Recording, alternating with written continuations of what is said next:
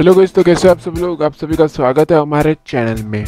तो यहाँ पे आप सभी जानते ही होंगे कि जब आकाशा घर में थी, तब प्रतीक और आकाशा की जोड़ी बहुत फ़ेमस हो गई थी।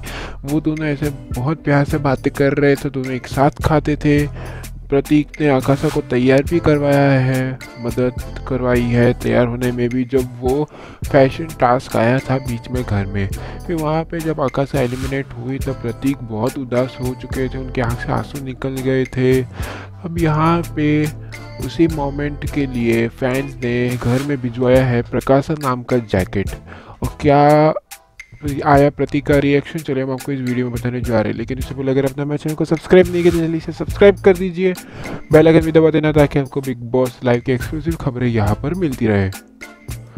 तो यहाँ पे जब प्रतीक को मिला प्रकाशा नाम का जैकेट फैंस ने भिजवाया था प्रकाशा नाम का जैकेट तो पीछे बहुत बड़े अक्षर में प्रकाशा लिखा हुआ था, छोटू लिखा हुआ था। फिर वहाँ पे तो ये क्या सीधा सीधा संकेत आ गया है कि आकाशा आने वाली है एज अ वाइल्ड कार्ड क्योंकि जब ये अनाउंसमेंट हो रही थी, तब म्यूट हो गया था और विशाल को भी ऐसा कुछ डाउट लगने लगा है कि आकाशा वापस आ रही है। तो गैज़ आप तो गैज़ आपको क्या लगता है, आकाशा आनी चाहिए या प्रकाश रीयूनाइट होना चाहिए? हमें कमेंट पे लिख के ज़रूर बताना। चैनल को लाइक शेयर सब्सक्राइब ज़रूर कर देना।